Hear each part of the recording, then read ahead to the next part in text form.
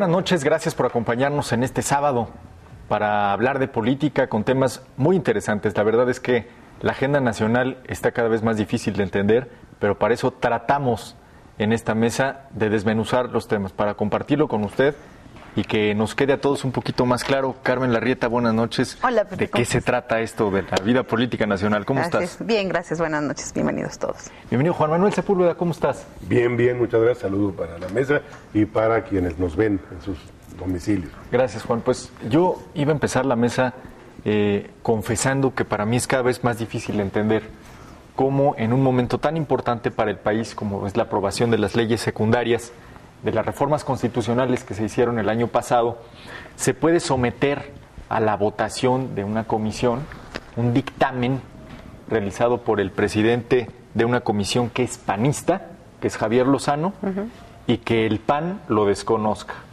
Me parece que tratar de entender eso para quien nos ve y nos escucha en su casa es no solo interesante, sino necesario. ¿Qué, qué, qué está sucediendo?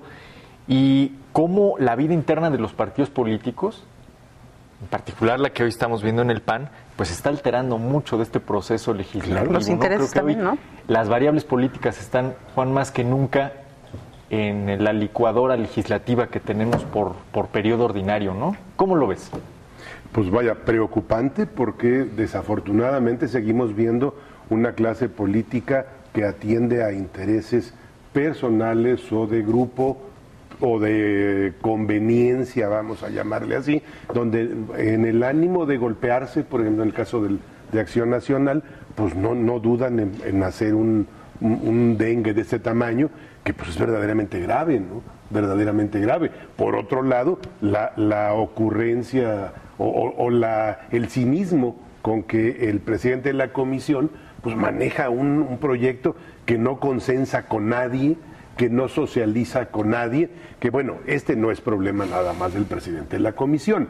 Yo creo que en general en los temas que estamos debatiendo, como que ya se apuesta a que están aprobados, que como ya se tiene la mayoría simple que se requiere para ganar, como que ya no hace falta que la gente lo entienda, sí. no hace falta socializarlo. Y esto mm, está generando problemas tan graves. Socializarlo no es eficaz, ¿no? Sí, sí, sí, no. ¿Para qué nos metemos en problema? Ni le van a entender. No están a la altura. El ciudadano común no tiene por qué saber de esto. Si además, si ya lo vamos a aprobar, pues adelante.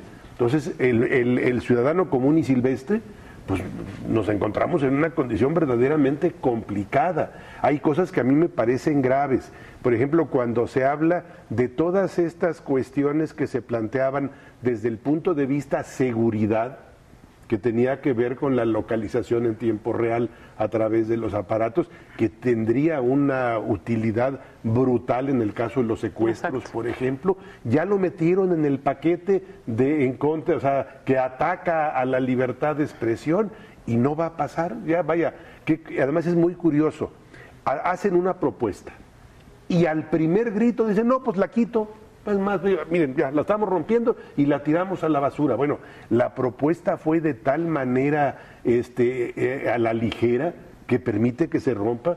Digo, yo, perdón, si yo hago una propuesta en una iniciativa de ley, pues salgo y la defiendo.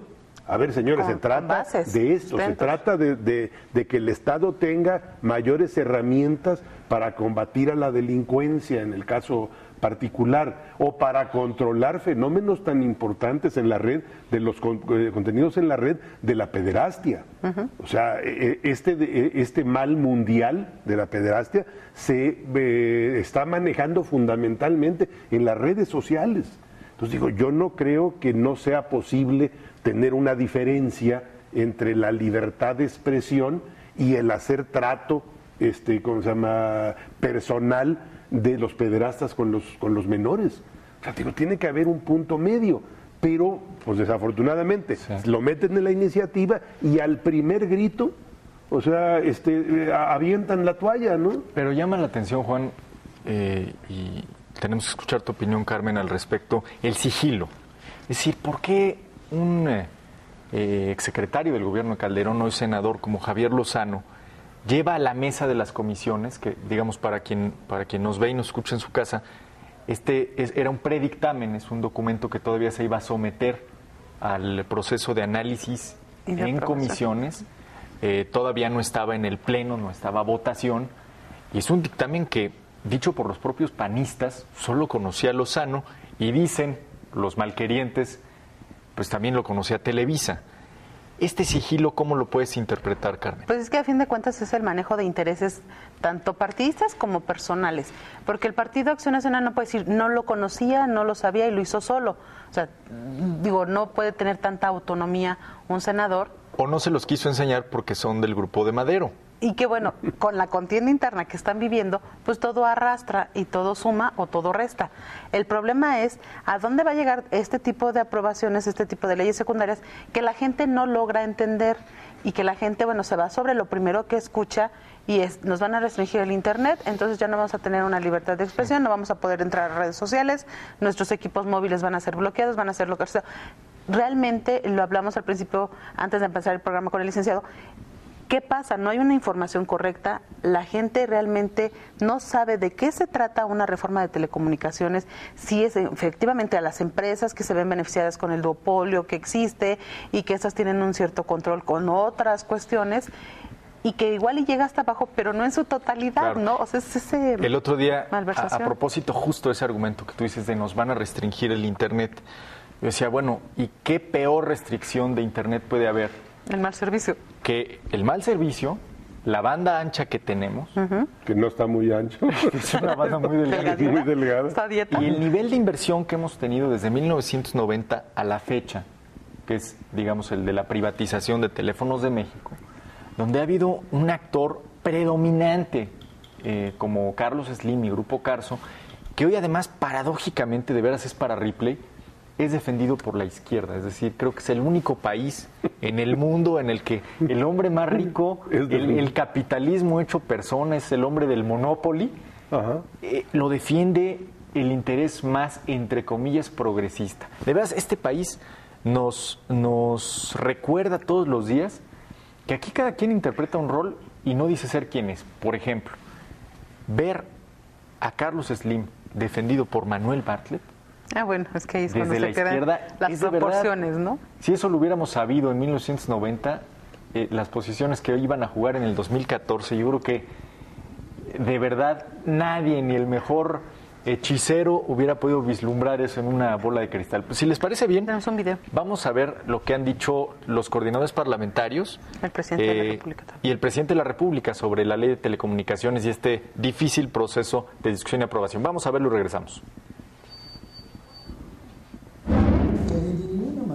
Se va a censurar o a restringir el acceso a Internet. De ninguna manera. No hay nada más falso que eso. Desde luego esta ley no trae nada en su contenido que pueda este, coartar la libertad de expresión. Y haremos todas las adecuaciones que sean necesarias para que no se desvirtúe en ningún momento este debate y que se pretenda decir que se quiere censurar o restringir el acceso a Internet. Esto es falso. Lo reitero, esto es falso. Es convicción del Gobierno de la República y de los grupos parlamentarios del PRI y del Verde Ecologista garantizar la libertad de expresión, el libre acceso a Internet. El Gobierno de la República manifiesta de forma enfática, como lo ha hecho el, senador, el señor senador Emilio Gamboa, un absoluto respeto a la libertad de expresión, derecho fundamental consagrado en el artículo sexto de la Constitución, y llevaremos a cabo las acciones que sean necesarias para hacer valer este derecho a todos los mexicanos hay una obligación constitucional para dotar a los hogares, al 70% de los hogares mexicanos en esta administración de Internet. Fue claro el secretario de Comunicaciones en el que, por supuesto, que lo que se busca es el beneficio de la población y, por supuesto, no lastimar eh, la libertad y las alternativas que se tienen hoy en nuestro país y en todo el mundo. Así que yo estoy convencido, estoy seguro que se va a lograr una buena ley reglamentaria y que se va a lograr el fin fundamental de una reforma constitucional en la materia. La reforma de telecomunicaciones es clave para elevar la competitividad de nuestra economía. En la actualidad las telecomunicaciones son un insumo estratégico y nuestros emprendedores deben tener acceso a ellas con calidad y tarifas competitivas a nivel internacional. Ese es precisamente el compromiso del Gobierno de la República y estoy seguro de que también lo comparten los legisladores que actualmente están trabajando en las leyes secundarias de esta reforma. En el caso del tema energético, sí de plano, como no ha llegado la iniciativa y no sabemos a cuál de las dos cámaras vaya a ser turnado, eh, tuvimos un preacuerdo que por supuesto llevaremos a los grupos parlamentarios de que entre el 15 y el 30 de junio podríamos llevar a cabo uno o varios eh, periodos extraordinarios o sesiones extraordinarias para resolver estos temas que no hemos podido resolver en el periodo ordinario. Y bueno, hay toda la voluntad de los diputados y senadores para poder resolver estos temas. Y bueno, hemos tratado de hacer una ruta crítica que nos permita ir desahogando cada uno de estos temas. Por lo cual acordamos en la Cámara de Senadores pues entrar de lleno a los temas que tenemos pendientes, la reforma en competencia, el tema de nombramientos del IFAI y el tema de la reforma político-electoral para entrar de lleno a trabajar con las demás fuerzas políticas. ¿Usted entendió? Nosotros tampoco. Ese es eh, lo que constantemente le está pasando al ciudadano este, en este ir y venir legislativo. Es decir, yo trato de recopilar lo que dicen los actores políticos, pero es verdaderamente complicado cuando sabemos que hay dos, dos intereses muy grandes, que son la televisión en la persona moral de Televisa y de Televisión Azteca, y por el otro lado, un monopolio eh, acostumbrado a sus privilegios como el de Carlos Slim. Pero volvemos con ese tema, si les parece bien, vamos a ir un corte y regresamos con este tema. Así es, vamos a hacer una pausa. Recuerda, estamos en su mesa de diálogo y análisis de Visto Bueno Televisión. Regresamos. ¿Sabes también que es interesante platicar? Digo,